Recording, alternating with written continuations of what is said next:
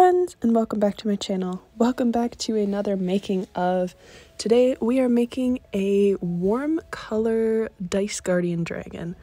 I have a convention that I'm going to uh, as of posting this in a week and I wanted to make more Dice Dragons because it's a tabletop gaming convention. So I hope you enjoy this video. Uh, let me know what you think of the dragon down in the comments and thanks for watching. See y'all in the next one. Love y'all.